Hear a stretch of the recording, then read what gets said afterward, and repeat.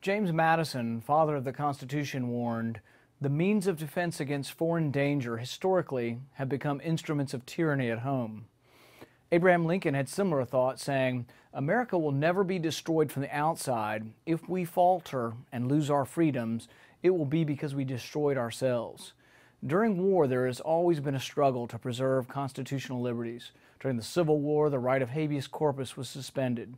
Newspapers were closed down. Fortunately, these rights were restored after the war. The discussion now to suspend certain rights to due process is especially worrisome, given that we are engaged in a war that appears to have no end. Rights given up now cannot be expected to be returned. So we do well to contemplate the diminishment of due process, knowing that the rights we lose now may never be restored. My well intentioned colleagues ignore these admonitions in defending provisions of the defense bill pertaining to detaining suspected terrorists. Their legislation would arm the military with the authority to detain indefinitely, without due process or trial, suspected Al Qaeda sympathizers, including American citizens apprehended on American soil.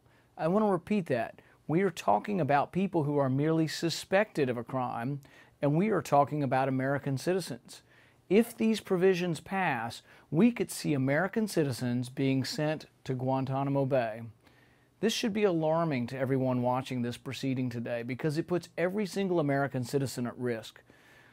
There is one thing, and one thing only, protecting innocent Americans from being detained at will at the hands of a too powerful state our Constitution and the checks we put on government power.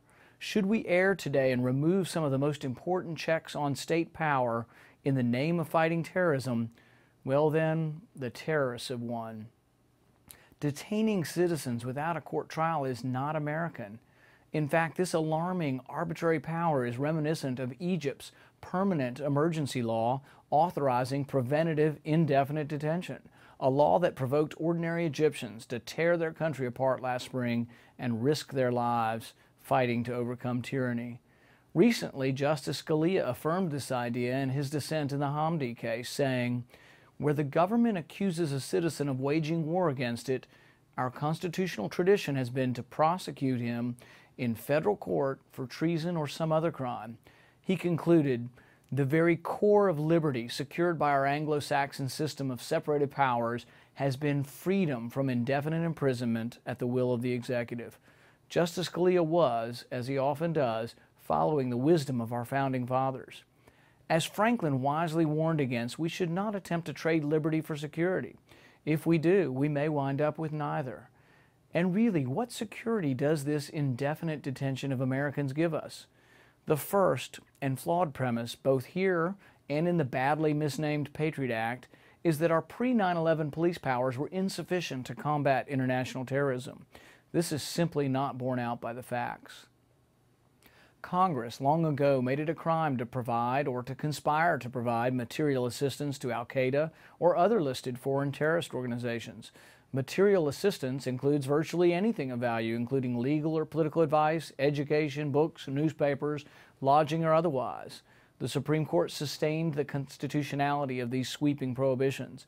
And this is not simply about catching terrorists after the fact, as others may insinuate.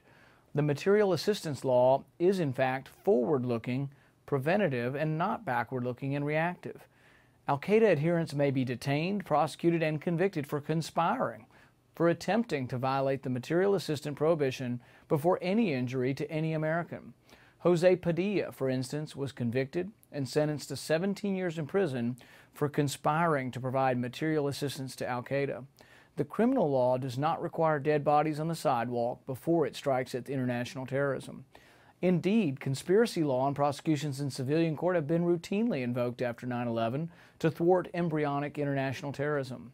Michael Chertoff, then head of the Justice Department's Criminal Division and later Secretary of the Department of Homeland Security, testified shortly after 9 11 to the Senate Judiciary Committee. He underscored that the history of this government in prosecuting terrorists in domestic courts has been one of unmitigated success and one in which the judges have done a superb job in managing the courtroom and not compromising our concerns about security and our concerns about classified information. Moreover, there is no evidence that criminal justice procedures have frustrated intelligence collection about international terrorism. Suspected terrorists have repeatedly waived both the right to an attorney and the right to science. Additionally, Miranda warnings are not required at all when the purpose of the interrogation is public safety.